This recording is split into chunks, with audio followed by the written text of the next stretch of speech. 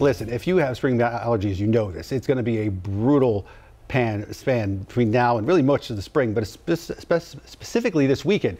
You can expect a high pollen count as you head out the door. It's bad. This morning, Wake Up Charlotte's Meghan Bragg verifies whether local honey, though, can help you stay away from that runny nose.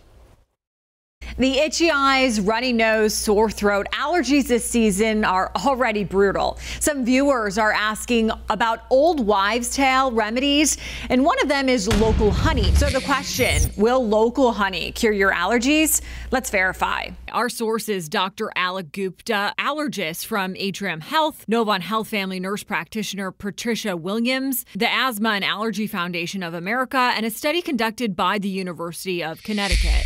First, let's take a look at how an allergen affects the body. So, our bodies respond to that by producing antibodies.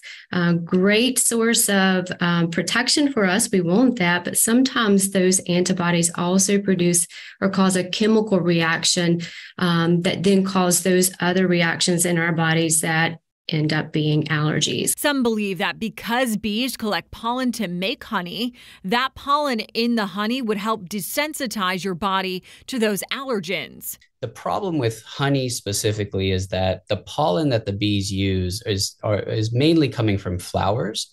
And the pollen that we're allergic to is typically not the flower pollen. According to the Asthma and Allergy Foundation of America, the pollens that affect most people are trees, grasses, and weeds, which bees usually don't collect. Plus, once the honey is processed, you would not ingest enough intact pollen to desensitize your immune system. A study conducted by the University of Connecticut gave a small group of people local honey for several days to see if their symptoms would resolve, and they found the honey did not eliminate allergies. It's a great uh, way to help us treat some of the symptoms, but I'm not sure it's going to really control your allergy symptoms as a whole. So we can verify that no, local honey will not cure your allergies. With your Verify, I'm Meghan Bragg.